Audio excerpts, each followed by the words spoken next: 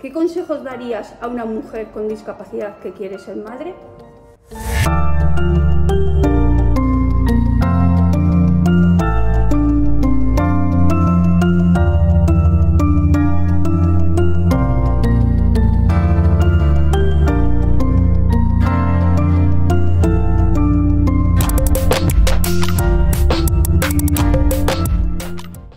Cuando nació mi hija fue algo que es algo muy bonito.